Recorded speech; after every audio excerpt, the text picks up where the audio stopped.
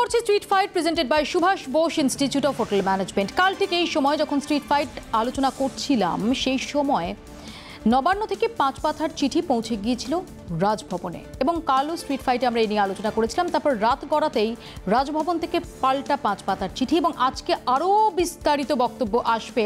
এটা কালই জানিয়ে দিয়েছিলেন রাজ্যপাল জগদীপ ধনকর আর আজকে চোদ্দ পাতার চিঠি সাঁত্রিশটা পয়েন্ট পরতে পরতে নিশানায় মুখ্যমন্ত্রী, রাজ্যের সাংবিধানিক প্রধান এবং রাজ্যের প্রশাসনিক প্রধানের দ্বন্দ্ব সাম্প্রতিককালে বারবার সামনে এসেছে।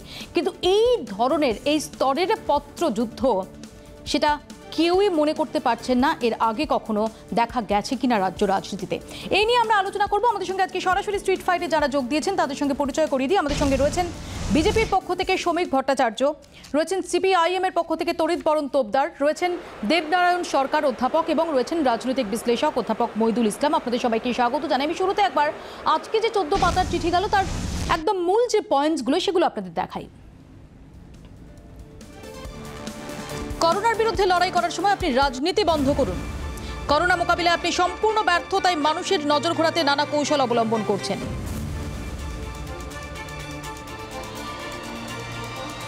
সংখ্যালঘু তোষণে আপনি এতই ব্যস্ত নিজামুদ্দিন নিয়ে সাংবাদিকদের প্রশ্ন এড়িয়ে গেছেন।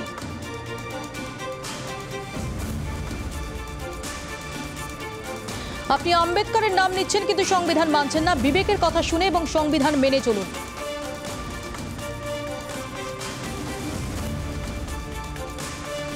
রাজ্যপালের কাছে আপনার যে সাংবিধানিক দায়বদ্ধতা, তা আপনি ধারাবাহিকভাবে উপেক্ষা করে চলেছেন। মানুষ যখন কষ্টে আছেন, তখন রাজ্যপাল হিসেবে আমি চোখ বুঝে থাকতে পারি না। আপনাকে আক্রমণ করেছি অসংসদীয় ভাষা ব্যবহার করেছি, এই সব অভিযোগ ভিত্তিহীন। আমি কখনো সাংবিধানিক নৈতিকতাকে দুর্বল করিনি বা লক্ষণ রেখা পেরোয়নি। রাজ্যপাল মনোনীত আপনার এই মন্তব্য সাংবিধানিক মূল্যবোধের পরিপন্থী।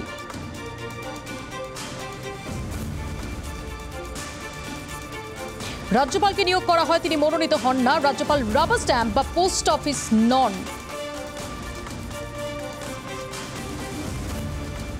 জনগণের টাকা লুট, রেশন দুর্নীতির মতো বিষয়ে আপনার অবস্থান গ্রহণযোগ্য নয়। বাদুরিয়ার ঘটনা হিম শৈলের চূড়া মাত্র আপনি কেন রাজ্যের করোনা পরিস্থিতি তথ্য পরিসংখ্যান চেপে রাখতে চাইছেন?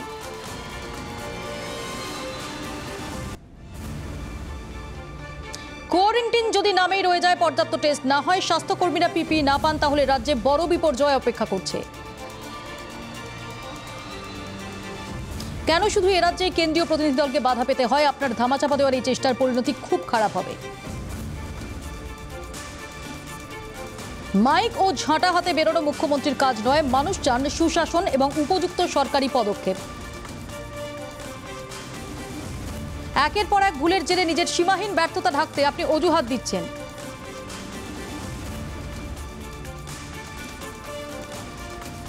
এখন অবধি এর কোনো প্রত্যুত্তর আমরা পাইনি। এখন অবধি অফিসিয়ালি রাজ্য সরকারের পক্ষ থেকেও কোনো প্রতিক্রিয়া আসেনি।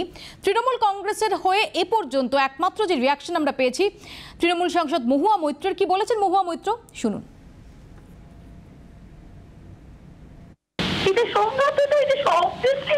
নয়। একটা মানুষ যদি বসে বসে সকাল থেকে বিকেল মুখ্যমন্ত্রীকে বলেছিল, আমি তো কালকে প্রথমবার টুইট করলাম। আমরা সবাই নিজের কাজে ব্যস্ত। একটা মানুষ একটা tax payer funded tax payer funded পজিশনে রাজভবনের মতো জায়গায় বসে প্রতিটি দিন একটা অসংযত tweet অসংযত press conference BJP party office তৈরি করে দিয়েছে। প্রত্যেকটা দিন, মাসের পর মাস চলে যাচ্ছে। একবার না একবার মুখ্যমন্ত্রী একটা রিপ্লাই দিয়ে দিয়েছে। তিনি আবার সেটাকে নামাচ্ছে তার রিপ্লাই আমরা এখন দেবো না। কালকে মুখ্যমন্ত্রী চিঠি দিয়ে ব্যাপারটা বুঝিয়ে দিয়েছে। আজ আবার তিনি চোদ্দ পাতা তা আজকে আমি রিপ্লাই দিলাম, কালকে তিনি আমার রিপ্লাই দেবেন। এটা কি কথায় শেষ হবে? কার এত সময় আছে এখন? প্যান্ডামিক চলছে, আমরা সবাই ব্যস্ত, মুখ্যমন্ত্রী ব্যস্ত, আমরা ব্যস্ত তোমরাও ব্যস্ত। এখন মানুষটার কোনো কাজ নেই, সে রাজভবনে বসে সকাল থেকে বিকেল যদি এটা করতে চায়, সে করুক। আমি শ্রমিক ভট্টাচার্যের কাছে শুরুতেই চলে যাব। শ্রমিক বাবু নিঃসন্দেহে রাজ্যপাল, রাজ্যের সাংবিধানিক প্রধান, তার কোনো বক্তব্য থাকতে পারে? তার নিঃসন্দেহে একটা দায়িত্ব রয়েছে। রাজ্য প্রশাসন কীভাবে চলছে বা চলছে না তাই নিয়ে তার নিজস্ব মতামত থাকতে পারে। তিনি সতর্কও করতে পারেন রাজ্যকে, কিন্তু তৃণমূল কংগ্রেসের অন্দর থেকে যে অভিযোগটা আমরা পাচ্ছি যে রাজ্যপালের এই চিঠি, তার পরতে পরতে যদি বিজেপির বক্তব্য, বিজেপির যে অভিযোগগুলো, বিজেপির যে ইস্যুগুলো সেগুলো ওয়ার্ড টু ওয়ার্ড প্রতিফলিত হয়, সেটা কি সঙ্গত?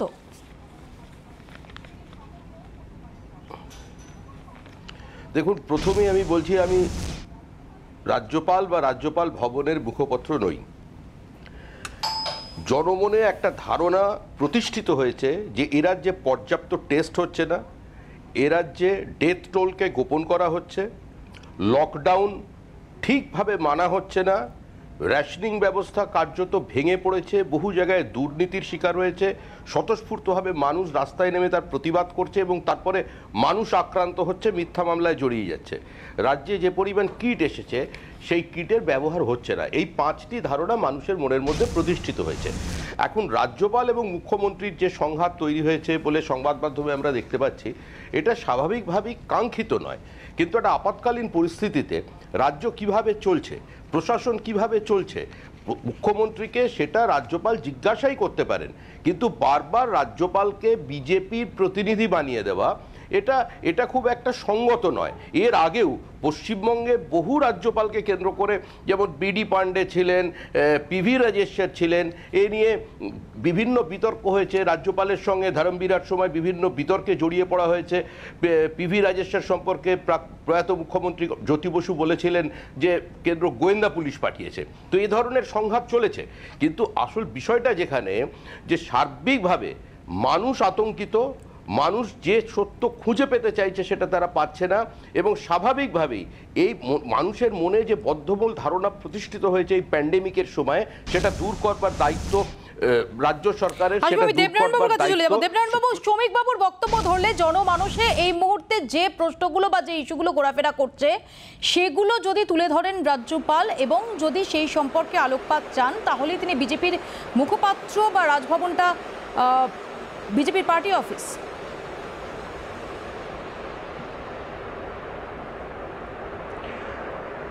দেখো মৌপিয়া রবীন্দ্রনাথ তার কণিকা কবিতায় লিখেছিলেন আহ, কত কত বড় আমি ভাবে নকল হীরাটি তাই তো সন্দেহ করি নহ ঠিক খাটি। সুতরাং আজকে এই যে নকল হীরাটি এ কত বড় নকল? এ কি ক্ষমতার লড়াইয়ের নকল? এ কি মনোনীত না নির্বাচিত?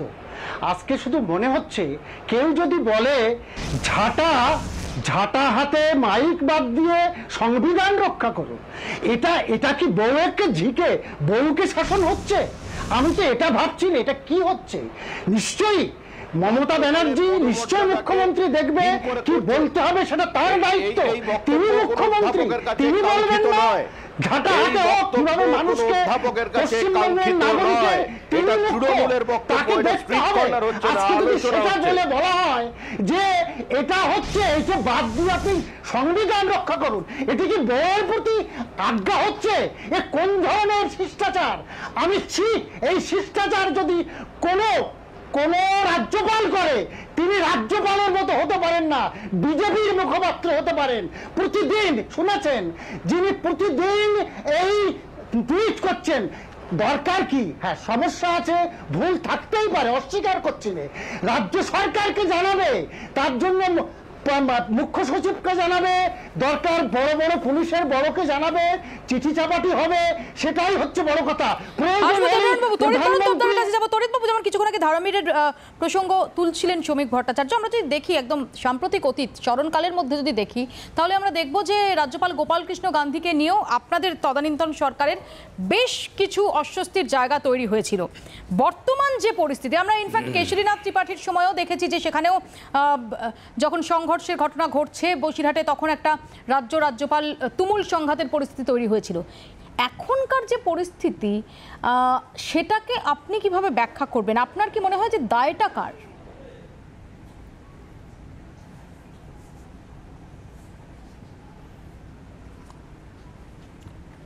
এখন এই পত্রযুদ্ধের যে পরিস্থিতি উদ্ভব হয়েছে, তার জন্যে দায় রাজ্যপালের এবং মমতা ব্যানার্জির।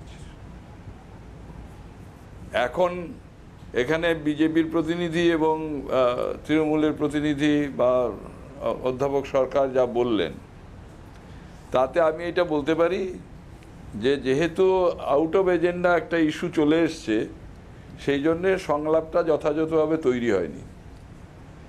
এই তো কদিন আগে দেখলেন তো, দুদিন আগে, যে প্রশান্ত কিশোর, প্রশান্ত কিশোরকে চার্টার প্লেনে করে নিয়ে আসা হলো। ডিজিসি এর পারমিশন আছে সেন্ট্রাল গভর্নমেন্টের পারমিশন আছে, রাজ্য সরকারের ইচ্ছা আছে এবং আবেদন আছে বা সাজেশন আছে বা থ্রেটও থাকতে পারে। এই সব মিলিয়ে জিনিসটা খুবই পরিষ্কার হচ্ছে মানুষের কাছে যে এই নাটকটা বন্ধ হওয়া দরকার। আর দুটো বিষয়ের সঙ্গে যুক্ত আছে। একটা হচ্ছে যে মানুষ এই নাটকের ফলে বিভ্রান্ত হচ্ছে, আর নিশ্চয়ই কোশ্চেন আছে। হঠাৎ ডেথ ডেথ সার্টিফিকেট দেওয়ার ব্যাপারে অডিট লাগবে কেন? Why audit died of corona and died with corona এই দুটো আলাদা আলাদা ওনার যদি ইচ্ছে হয় ওই দুটো আলাদা আলাদা করে ক্যাটেগরি করে ভাগ করে দিলেই পারেন। তাহলে তাই নিয়ে যদি রাজ্যপাল প্রশ্ন তোলেন তাহলে মনে করছেন কেন যে তিনি সব সাংবিধানিক সীমা লঙ্ঘন করেছেন। দাঁড়া এক মিনিট। রাজ্য রাজ্য রাজ্যপালের দায়িত্ব নয় এটা। রাজ্যপাল মরাল গার্জিয়ান এখানে না। রাজ্যপাল হচ্ছে ও কেন্দ্রীয় সরকারের হোম ডিপার্টমেন্টের চোখ। সে তাকিয়ে দেখবে, বলবে কম। হি উইল সেলডাম স্পিক আর যদি কিছু, তার কিছু মনে হয়ে থাকে, এই চিঠিপত্র সব লিখবে হচ্ছে হোম ডিপার্টমেন্টে। এইভাবে প্রকাশ্যে চিঠিপত্র যুদ্ধ করে মমতা ব্যানার্জি রাজনীতি করছেন। পাল্টা রাজনীতি তো উনি করতে পারেন না। আমি আসব এই আলোচনায়, আমি মইদুলের কাছেও আসব, তার কারণ আমরা দেখলাম যে মুখ্যমন্ত্রীর চিঠিতে একদম সারকারিয়া কমিশন থেকে শুরু করে বি আর আম্বেদকরের উদ্ধৃতিকে তুলে ধরে বলা হলো যে সাংবিধানিক সীমা লঙ্ঘন করছেন রাজ্যপাল। অন্যদিকে রাজ্যপালের পাল্টা প্রথমে পাঁচ পাতার, পরে চোদ্দ পাতার চিঠি যেখানে ছত্রে ছত্রে নিশানায় মুখ্যমন্ত্রী, নিশানায় রাজ্য সরকার, নিশানায় রাজ্য প্রশাসন এবং এবং তিনি সেখানে অ্যাসার্ট করছেন যে, না, এটা তার দায়িত্বের মধ্যেই পড়ে। তিনি কোথাও কোনো সীমা লঙ্ঘন করেননি। সত্যি সত্যি আমাদের যে সাংবিধানিক পরিকাঠামো, তার মধ্যে কতটা পরিসর থাকছে? কে সীমা লঙ্ঘন করছেন? একটা ছোট্ট বিরতির পর এ প্রসঙ্গে আলোচনায় ফিরছি। দেখতে থাকুন স্ট্রিট ফাইট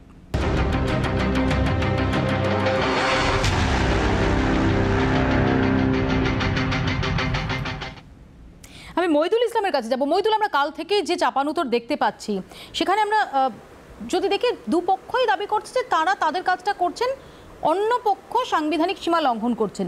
আমি একটু জানতে চাইব আপনার কাছে। আর্টিকেল ওয়ান সিক্সটি থ্রি যেখানে বলছে যে সরকারের সিদ্ধান্ত কাউন্সিল অফ মিনিস্টার্সই নেবে। আর্টিকেল ওয়ান সিক্সটি সেভেন বলছে যে আবার মুখ্যমন্ত্রীর দায়িত্ব হচ্ছে সরকারের সিদ্ধান্ত, সেটা কমিউনিকেট করা গভর্নরকে কিন্তু মোড অফ কমিউনিকেশন কী হবে, সেই সম্পর্কে নির্দিষ্ট কোনো আলোকপাত বা বেঁধে দেওয়া গত নেই। এই যে যুযুধান দুপক্ষ, কার্যত একটা দৈরথ দেখা যাচ্ছে, সত্যি কোন পক্ষ সীমার মধ্যে রয়েছে, কোন পক্ষ সীমা লঙ্ঘন করছে?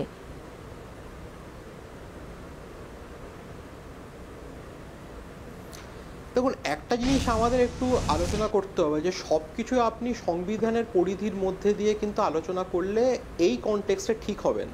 তার কারণ হচ্ছে যে দুটো জিনিস আমাকে মনে রাখতে হবে এবং আপনাদের সবাইকেই মনে রাখতে হবে। এক হচ্ছে যে সংবিধান যখন লেখা হয়েছিল, তখন টেলিভিশন মিডিয়া ছিল না। এটা এক। দ্বিতীয়ত হচ্ছে যে সোশ্যাল মিডিয়াও ছিল না। অর্থাৎ রাজ্যপাল যে কম কথা বলবে, তার ডিসক্রিপশনারি কিছু পাওয়ার আছে, যেটা আপনি আগের যে আর্টিকেলগুলো দেখবেন, বিশেষ করে রাজ্যপালের যে আর্টিকেলগুলো যেগুলো আছে একশো তিপ্পান্ন থেকে একশো বাষট্টি, একষট্টি পর্যন্ত এরকম কিছু হবে। আমার এখন এক্স্যাক্টলি আর্টিকেলগুলো মনে মনে পড়ছে না। কারণ মূল বিষয়টা যেটা হচ্ছে যে, আপনার সোশ্যাল মিডিয়া এবং টেলিভিশন মিডিয়া তখন ছিল না। এখন যেটা হচ্ছে যে সোশ্যাল মিডিয়া এবং টেলিভিশন মিডিয়া আসার ফলে কনফিডেন্সিয়ালিটির যে জায়গাটা, সেইটা থাকছে না। কারণ রাজ্যপাল রাজ্যপাল একটা বিবৃতি দিয়ে দিচ্ছেন টুইট করে দিচ্ছেন, পুরোটাই একটা পাবলিক ট্রায়াল হয়ে যাচ্ছে। এবার এইখানে যেটা হচ্ছে যে যেটা রাজ্যপালের করার কথা, সেইটা না করে এক ধরনের রাজনীতিবিদের মতো কথা হয়ে যাচ্ছে। ফলে এইটা একটা সমস্যা যেটা হচ্ছে যে রাজনীতিবিদের মতো যখন কথা হয়ে যাবে, তখন কিন্তু সাংবিধানিক যে তার যে দায় দায়িত্ব এবং সাংবিধানিক পদের যে সিরিয়াসনেস, সেই সিরিয়াসনেসটা চলে যাচ্ছে।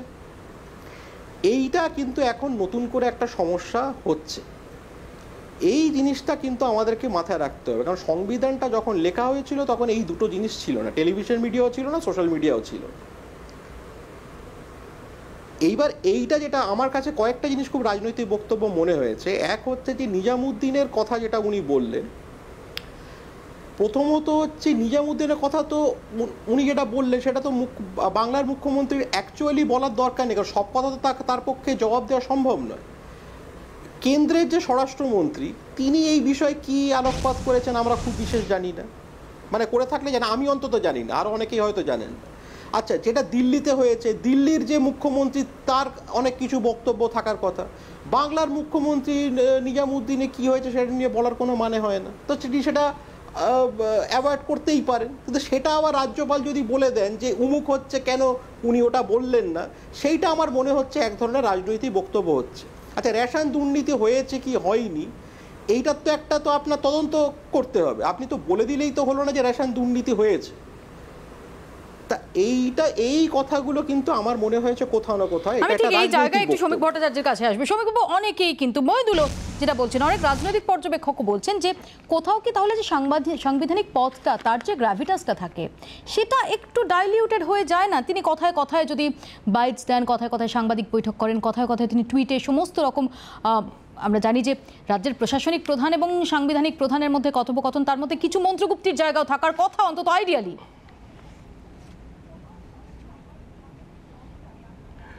দেখো মুপিয়া, প্রথম কথা বলতে অন্য পরিস্থিতির সঙ্গে আজকে এই মুহূর্তে যে পরিস্থিতি তৈরি হয়েছে বাংলা তথা গোটা দেশ এবং গোটা পৃথিবীতে, যেখানে পৃথিবীর গাড়ির চাকাটা থেমে গেছে, জীবন আত্মসমর্পণ করেছে একটা অনুজীবীর কাছে, যেখানে আমাদের একমাত্র লক্ষ্য বেঁচে থাকা বেঁচে থাকা এবং বেঁচে থাকা, সেই জায়গায় দাঁড়িয়ে কিন্তু আজকে আমরা এই আলোচনাটা করছি। এখন প্রথমে আমি মইদুলের কথার আগে বলব প্রবীণ সিপিআইএম নেতা শ্রদ্ধ তরিত্তবদার যেটা বললেন আমি ওনার সঙ্গে এক জায়গায় একমত নই কারণ ওদের পার্টির একটা ঘোষিত অবস্থান ছিল চিরকালই। তারা রাজ্যপাল পদটাকেই তুলে দিতে চাইছিলেন এবং তারা বলতেন যেটা হাতি পোষার মতো হচ্ছে। বিভিন্ন সময় সিপিআইএম এর দলেও যখন নেতা ছিলেন তাদের প্রমোদ দাসগুপ্ত একবার বিডি পান্ডেকে বলেছিলেন বাংলা দমন পান্ডে তো এই সংঘাত এই এই সংঘাতগুলো চলেছে। এটা তাদের রাজনৈতিক অবস্থান। কিন্তু আজকে যে পরিস্থিতি তৈরি হয়েছে যেখানে সাধারণ মানুষের মনের মধ্যে যে ধারণা যেটা মইদুল এখনও বলছে রেশন দুর্নীতি হয়েছে কি হয়নি আমি। আবার বলছি আমি রাজ্যপালকে ডিফেন্ড করছি না আমি রাজ্যপাল রাজ্যপালের রাজ্যপাল ভবনের আমি কেউ নই আমি তার মুখপত্র নই। আমি আমার দলের অবস্থানটা বলতে পারি। না এখানে বিভিন্ন নির্দিষ্ট প্রশ্ন আপনার কাছে যে রাজ্যপালের পদ কতটা অর্নামেন্টাল এবং সত্যি সত্যি রাজ্যপাল পদের গুরুত্ব কতটা সেটার প্রয়োজনীয়তা কতটা এটা নিয়ে প্রচুর রাজনৈতিক আলোচনার একটা পরিসর আমরা অতীতেও দেখেছি সাম্প্রতিক অতীতেও দেখেছি। কিন্তু আপনাদের বিরুদ্ধে তো অভিযোগটা আরও সিরিয়াস যে অর্নামেন্টাল নয় রাজ্যপালের পদটাকে আপনারা রাজনৈতিক অভিসন্ধি বশত ব্যবহার করছেন।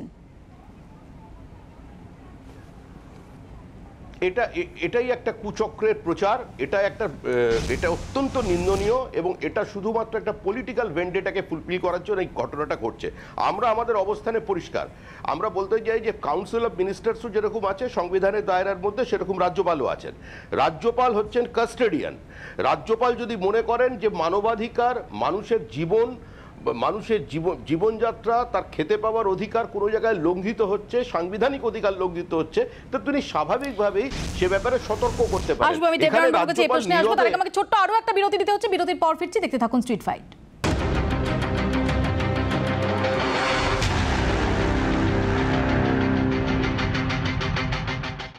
ফিরে এলাম বিরতির পর। আপনারা দেখছেন street fight presented by Subhash Bose institute of hotel management রাজ্য রাজ্যপাল সংখ্যাতে প্রথম নয়, গত জুলাইয়ে এই রাজ্যে রাজ্যপালের দায়িত্বভার গ্রহণ করেছেন জগদীপ ধনকর আর তারপর থেকে একের পর এক, একের পর এক সংঘাত। আসুন একটু ফিরে দেখি।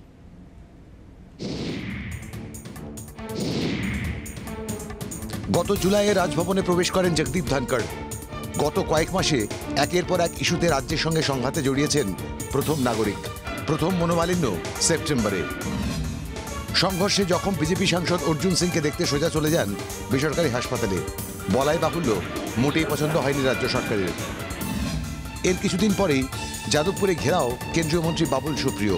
বাবুলকে উদ্ধারে শটান বিশ্ববিদ্যালয় ক্যাম্পাসে পৌঁছে যান রাজ্যপাল। যাদবপুর কাণ্ড থেকেই বুঝিয়ে দিচ্ছিলেন, রাজভবন আর গতে বাঁধা অনুষ্ঠানের মধ্যেই সীমাবদ্ধ থাকবে না নয়া রাজ্যপালের গতিবিধি।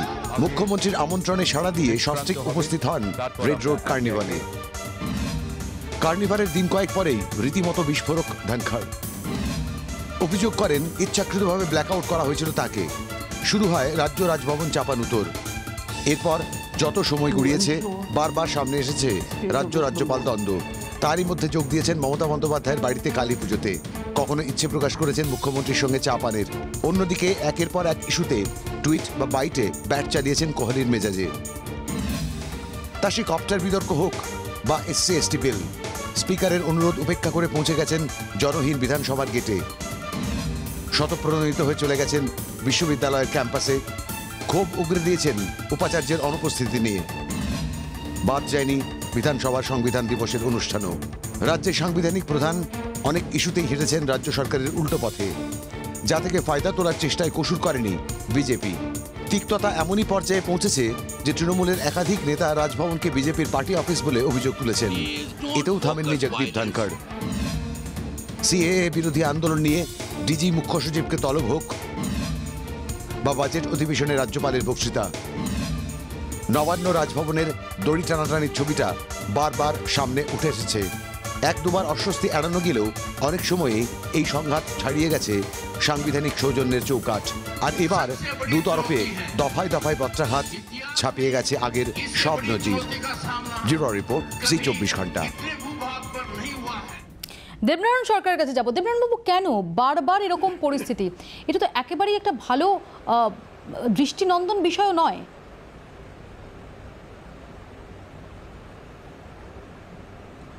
না, কারণটা কি জানো? যবে তোমরা ঠিকই দেখিয়েছো, উনি অনেক কিছু দেখতে পান না। এই ঘটনার মধ্যে তুমি নিশ্চয়ই জানো যে মেট্রো রেলে বিশাল একটা বিরাট ক্ষতি হয়েছিল এবং বহু লোক বাড়ি ছাড়া হয়েছিল। সেই সময় উনি সব বিজেপির নেতা এখানে যাচ্ছেন, ওখানে যাচ্ছেন, সেখানে যাননি এবং কয়েকজন, দু একজন মারাও পর্যন্ত গেছে এবং বিরাট অসুবিধা উনি ওটা দেখেন না। আসলে ব্যাপারটাকে নিয়ে একটা কথা বলে না স্নেকা বলেছিল all cruelty springs from weakness দুর্বলতা থেকে নিষ্ঠুরতার তৈরি হয়। কেন কি জানো? আজকে জবে থেকে আসছে উনি বিজেপির একেবারে স্পোক্সম্যান হিসেবে কাজ করছে। যেখানে আজকে মুখ্যমন্ত্রী মাইলেজ পেয়ে যাচ্ছে। কেন? এই করোনার আন্দোলনটা প্রথম থেকে এই পশ্চিমবঙ্গে শুরু হয়েছে। সে মাটি থেকে আরম্ভ হোক রেশন থেকে আরম্ভ হোক সেখানে বাড়ি বাজার থেকে আরম্ভ হোক মুখ্যমন্ত্রী গিয়ে গিয়ে দেখিয়ে দিচ্ছে যখন দেখছে মাইলেজ পেয়ে বেছে বেছে সেই ইস্যুগুলোই তুলে ধরছেন তৃণমূল কংগ্রেসের অভিযোগ মতো দেবনারায়ণবাবু যেটা উল্লেখ করলেন যে যেটা রাজ্যের পক্ষে অস্বস্তিকর এবং যেটা থেকে বিজেপি ফায়দা লুটতে পারে। পার্টি অফিস হিসাবে কাজ করার জন্য সর্বদা চেষ্টা করছেন সৌমিকবাবু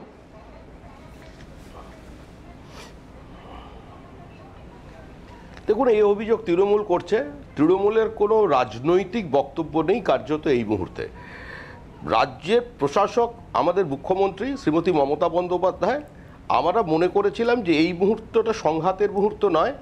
এই মুহূর্তে যে করোনায় আক্রান্ত মানুষ আছেন, সেই তার জন্য মমতা বন্দ্যোপাধ্যায় দায়ী নয়। তিনি করোনাকে নিয়ে আসেননি কিংবা নরেন্দ্র মোদীও করোনাকে ভারতবর্ষে নিয়ে আসেননি।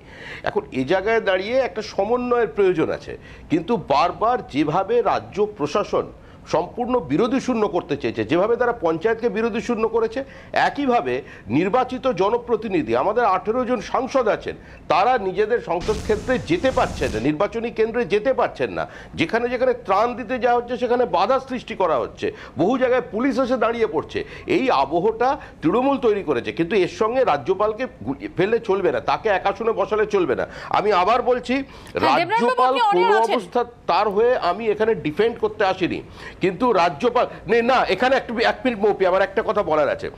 যেখানে বলা হচ্ছে বিজেপি অফিস আজকে স্বাভাবিকভাবে বিজেপি কেন্দ্রের ক্ষমতায় আছে। আমাদের যেভাবে আমাদের কনভেনশন অনুযায়ী স্বাভাবিকভাবে তরিতবরণ তোপদার তো আর গুজরাটের রাজ্যপাল হবে না বিজেপি সরকারের আমলে, কিংবা দেবনারায়ণ কুমার ত্রিপুরার রাজ্যপাল হবেন না। তো এক্ষেত্রে, এটা একটা অন্য সাংবিধানিক প্রশ্ন। আইভার জেনিংস একটা কথা বলেছিলেন বহু যুগ আগে, যে head of the state is free from party ties A promoted politician cannot forget his past if he can, others cannot. এটা রাষ্ট্রবিজ্ঞানে অন্য একটা বিতর্কের বিষয়। কিছু বলছেন। জন্য সেটা সেটা আমি এটা সম্পূর্ণ একটা রাষ্ট্রবিজ্ঞানের ভিন্ন শ্রমিক বিতর্কের বিষয়। কিন্তু আজকের অভূতপূর্ব যে পরিস্থিতি কিছু বলছেন আমি আপনার বক্তব্যের উত্তর নেব বরণ বাবুর কাছ থেকে। ঠিক আছে শ্রমিক শোনো এটা তোমরা নিশ্চয়ই কলেজে পড়ার সময় বা তার আগের জেনারেশন একটা একটা প্রশ্নের উত্তর দিতে, লিখতে হতো Indian president is a magnificent cipher discuss হয়তো পনেরো নম্বরের প্রশ্ন থাকতো। তা এখানে হঠাৎ মানে রাজ্যপাল রাষ্ট্রপতির প্রতিনিধি হিসাবে আসা হোম মিনিস্ট্রির সিলেক্টেড পারসন সে হঠাৎ সব কিছুর ঊর্ধ্বে উঠে গেল কি করে? এই গেল এক। দুই হচ্ছে, এই মহামারীর সময়তে মানুষ মরছে আর নিষ্ঠুরভাবে তথ্য চাপা দেওয়া হচ্ছে পশ্চিমবাংলায়, এটা নির্মম সত্য। কিন্তু এটাও ঠিক যে কেন্দ্রীয় সরকার তার দায়িত্ব পালন করেনি, সময় মতো লকডাউন করেনি, তারা তখন মধ্যপ্রদেশ সে সরকার ভাঙতে ব্যস্ত, ইত্যাদি ইত্যাদি।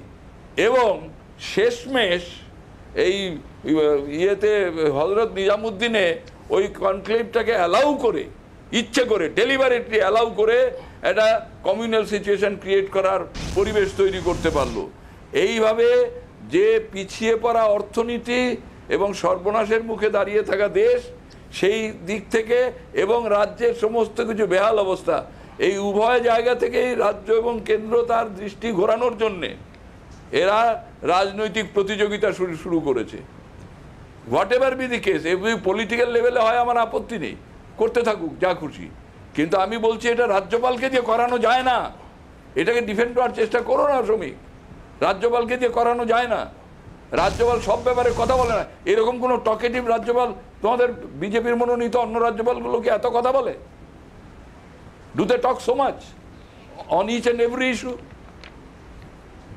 এত এত বকবাস এত এত টকেটিভ রাজ্যপাল আর কাউকে দেখা যায়নি। দেখুন না সেটা ওনার ব্যক্তিগত মতামত থেকে উনি বলছেন। দেখুন এটা ঠিকই এই পরিস্থিতি আগে কোনো কোনোদিন দেশে রাজ্যে বা পৃথিবীতে তৈরি হয়নি। নিঃসন্দেহে শ্রমিক বাবু এই প্যান্ডেমিকের প্রসঙ্গটা বাইরেও আমি যে একটু আগে যে প্রতিবেদন চ্যালেঞ্জের দেখালাম গত কয়েক মাসে অর্থাৎ জুলাই থেকে শুরু করে এই অবধি গত আট ন মাসে বিভিন্ন বিষয় ক্ষুদ্রাতি ক্ষুদ্র বিষয় তা নিয়ে তো আমরা রাজ্য রাজ্যপাল সংঘাত দেখেছি। তোমাকে একটা প্রশ্ন করছি। আমি আমি আমি আমি তরিদ্দাকেও একটা প্রশ্ন করছি যে ভারতবর্ষের রাজনীতির ইতিহাসে বাংলার ইতিহাসে এরকম কোন দৃষ্টান্ত আছে? যে একটা বিশ্ববিদ্যালয়ের রাজ্যপাল গেছেন তিনি আচার্য বিশ্ববিদ্যালয়ের উপাচার্য বলছেন যে রাজ্য সরকার চায় না আমি তার জন্য আমি তার সঙ্গে দেখা করব না। এই পরিস্থিতি এই এই দৃষ্টান্ত ভারতবর্ষে কোন বিশ্ববিদ্যালয়ে আছে কিনা? মইদুল আছে, আমি প্রশ্নটা নিয়ে যাব দেবনারায়ণ সরকারের কাছে। দেবনারায়ণ বাবু এটাও কি অস্বীকার করতে পারেন। রাজ্যপাল যাচ্ছেন গিয়ে দেখছেন উপাচার্য উপস্থিত নেই রাজ্যপাল বিধানসভায় যেতে চাইছেন বিধানসভার অধিবেশন মুলতবি স্পিকার তাকে প্রাথমিক সম্মতি জানানোর পর তারপর স্পিকার বলছেন না আপনি প্লিজ অমুকিন আসবেন না। না না কেন এই এটা তৈরি করলোটা কে না তোমাকে একটা বলি যে লোক গত জুলাই থেকে আসার পরের থেকে। বিজেপি কথা যেভাবে রাজ্যটাকে শাসন করছে, রাজ্যপাল না না যে যার। কর্মটা দিয়ে মানে একজন মানুষকে চেনা যায় তার কর্ম দিয়ে উনি তো রাজ্যপাল নয়। উনি বিজেপির স্পোক্সম্যান ডে ওয়ান থেকে। দেখুন, নেবেন। সুতরাং আজকে যে কথাগুলো বলা হচ্ছে উনি কোনো কিছু নয়। উনি বিজেপির সভাপতি। আমি তো ওনাকে বলি সব University- সভাপতি। যে কথাটা বিজেপি বলবে ওনার কাজটা হচ্ছে ইউনিভার্সিটিতে ইউনিভার্সিটিতে ভাইস চ্যান্সেলরের আচরণ সঠিক নয়। তাই বলে তাই বলে রাজ্যপাল যা ইচ্ছা তাই করতে পারে না। আমি আসব দেবনারায়ণ বাবুর কাছে আসব তরিৎ বরণ তোদ্দারের কাছে আসব আমি মইদুলের কাছে আসব। মইদুল খুব সাধারণ একটা বিষয় যদি আমরা দেখি যে ঠিকই অনেক ক্ষেত্রে রাজ্যপালের যে ভূমিকা বা রাজ্যপালের একটু একটু আগে আপনিও যেটা উল্লেখ করলেন যে প্রতিটি ক্ষেত্রে এমন কোনো বাধা ধরা বিষয় নেই যে তিনি টুইট করবেন কিনা বা তিনি বাইটস দেবেন কিনা। কারণ যে সময় রাজ্যপালের পদ সৃষ্টি হয়েছিল সেই এই এই কনসেপ্টগুলোই ছিল না। কিন্তু মোটামুটিভাবে তাকে যেরকম প্রত্যেকটা ক্ষেত্রে রিয়াকশন দিতে দেখা যায়, আবার যেটা শ্রমিকবাবুরা বলছেন যে রাজ্যপাল যিনি আচার্য, তিনি বিশ্ববিদ্যালয়ে যাচ্ছেন, উপাচার্য টার্ন আপ করছেন না। এই ধরনের ঘটনাও তো দেখা গেছে। এগুলোও কি এড়ানো যেত না?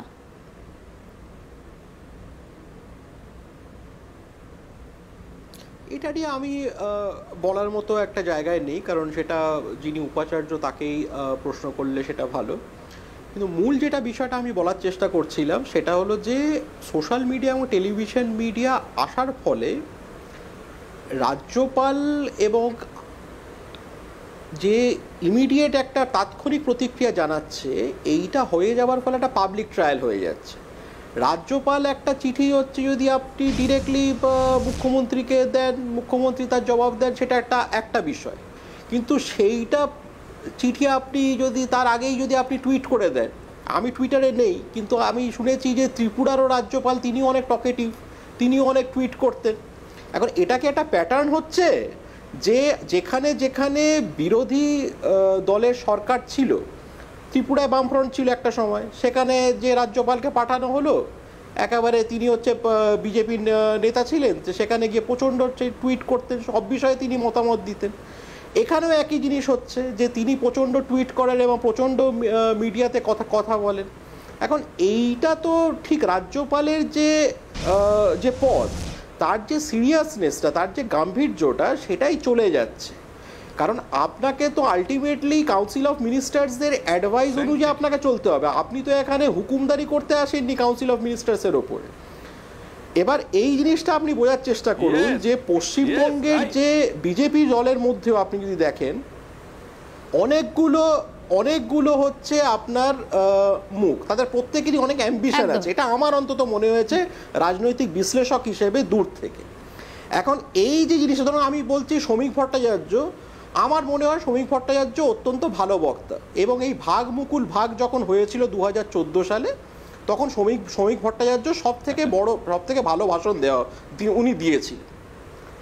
কিন্তু এখন শ্রমিক ভট্টাচার্যর অ্যাম্বিশন একরকম রাহুল সিনহার একরকম অ্যাম্বিশন দিলীপ ঘোষের একরকম অ্যাম্বিশন পর এই প্রসঙ্গে ফিরছি আলোচনায় দেখতে থাকুন ট্রিট ফাইট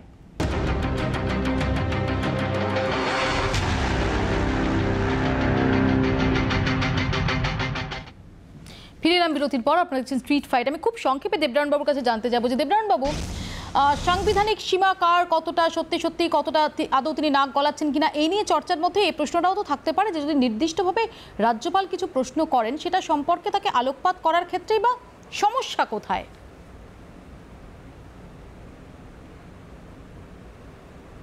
না সমস্যা নেই। চাণক্য একটা কথা বলতো, আঘাত ভোলা যায়, কিন্তু অপমান নয়। না, মুখ্যমন্ত্রী কখনো এভাবে চিঠি দেননি? এইভাবে চিঠি ডিসক্লোজ করেননি? কেন? আমি তো প্রথমেই বললাম, তোমাকে প্রথমে বললাম, কেউ যদি বলে, একজন রাজ্যপাল যদি মুখ্যমন্ত্রীকে বলে যে আপনি মাইক ছাড়ুন, আপনি আপনি মিশে মানে রাস্তায় না বেরিয়ে ওইভাবে না করে আপনি ইয়ে পালন করুন আমি একটু আগে বললাম? এটা কি আপনার কাজ নয়? এইটা যদি ওখাকে বলে, এই এটা যদি একজন রাজ্যপাল বলে যে আপনি গণতন্ত্র রক্ষা করুন, সংবিধান রক্ষা করুন রাস্তায় মাইক ধরা, অমুক ধরা, এটা করবেন না। আচ্ছা এইটা কে বলে? আজকে মুখ্যমন্ত্রী করবে না, কে করবে? মুখ্যমন্ত্রী যে আজকে রাজ্যের, এই জায়গাটাই তো অপমান। অপমানের জন্য আজকে চিঠি দিয়েছেন। মুখ্যমন্ত্রী এইভাবে চিঠি দেন না। আমি যে কথাটা বলছি, একটা সুন্দর সম্পর্ক যদি না থাকে, ক্ষতি আমার রাজ্যেরই। কিন্তু উনি সেটা সুন্দর করছেন না। সম্পর্ক কেন থাকছে না? আজকে বাবু? আমরা দেখছি রেড রোড কার্নিভালে আসছেন। জগদীপ ধনকর আসছেন মুখ্যমন্ত্রীর বাড়িতে কালী পুজোতে তিনি যাচ্ছেন তিনি বলছেন আমি ভাইফোঁটা পাচ্ছে। নিতে আগ্রহী তারপরেও কেন থাকছে না? হচ্ছে। এইটাই কি করোনা দিয়ে সব সুবিধা হয়? তার কোনো কথা নেই। শুধুমাত্র কিছু বলতে তাড়াতাড়ি করে- তড়িৎ তড়িৎবাবু বলুন প্লিজ মানে দৃষ্টিটাকে অন্য জায়গায় ঘোরানোর জন্য রাজ্যপাল চেষ্টা করছেন।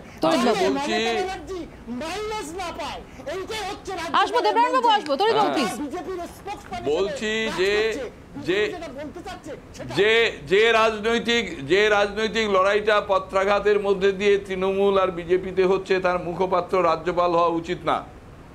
এর জন্য তো পলিটিক্যাল পার্টি আছে। এইসব পয়েন্ট আউট তারা করতে পারে। তারা কেন লড়ছে না? তাহলে কি আন্ডারস্ট্যান্ডিং এর মধ্যে ওইটা একটা প্যারাগ্রাফ আছে? যে পলিটিক্যাল লেভেলে পলিটিক্যাল লেভেলে একটু সংযত থেকে পলিটিক্যাল পলিটিক্যাল লেভেলে পলিটিক্যাল লেভেলে একটু সংযত থেকে পলিটিক্যাল লেভেলে একটু সংযত থেকে এক্সিকিউটিভ লেভেলে লড়াই হবে। কিন্তু কিন্তু রাজ্যপাল কিন্তু সুপার এক্সিকিউটিভ না। রাজ্যপাল কিন্তু সুপার এক্সিকিউটিভ না। রাজ্যপাল সুপার এক্সিকিউটিভ না এটা মনে রাখবেন। ওইখানে ইয়েতে বিশ্ববিদ্যালয়ের উপাচার্যের সঙ্গে কি ভালো হয়েছে মন্দ হয়েছে সেটা নিন্দনীয় হতে পারে। কিন্তু তাই বলে রাজ্যপাল স্ট্রিট ফাইটিং এ নেমে যাবে এটা হয় না। দিলীপ ঘোষ রাহুল সিনহারা যা বলতে পারেন সেটা কি হ্যাঁ। রাজ্যপাল বলতে পারেন? তার সাংবিধানিক পদের প্রতি রেখে এই প্রশ্নটা কিন্তু তরিত বাবুরাও তুলছেন ইয়েস উত্তর নেব। শ্রমিক বাবু একদম তিরিশ সেকেন্ড আমার সময় সংক্ষিপ্ত। সুপার এক্সিকিউটিভ নন। রাজ্যপাল রাজ্য রাজ্যপাল ওভার পাওয়ার্ড হয়ে যাচ্ছেন।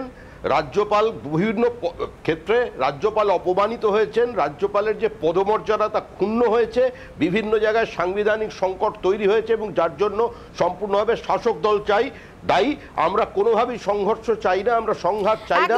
আমরা চাই রাজ্যপাল এবং রাজ্যপাল বারবারই একটা কথা বলে থাকেন। আগেও বলেছেন এই চিঠিতেও বলেছেন যে কিছু কিছু মন্ত্রী তারা তারা একদম লাগামহীন ক্যাননের মতো ব্যবহার করেন এবং যে কোনো রকমের ভাষা ব্যবহার করেন আমার বিরুদ্ধে। এই জায়গাটাও কি কোথাও নিয়ন্ত্রণ করা দরকার না একই সঙ্গে মইদুল সম্মানিত ব্যক্তি তুমি খুব সংক্ষেপে, করলেও নিজের সম্মান নিজের রক্ষা করতে জানো। না একদমই দরকার। কার- কারণটা হচ্ছে যে। একদমই দরকার। পাবলিক লেভেলে একটা সিভিলিটি থাকবে ভদ্রতা থাকবে সভ্যতা থাকবে। এইটা তো বাংলার এমনি সংস্কৃতি। সেটা তো রাজনৈতিক রাজনীতিবিদদের তো একেবারেই মনে রাখা দরকার।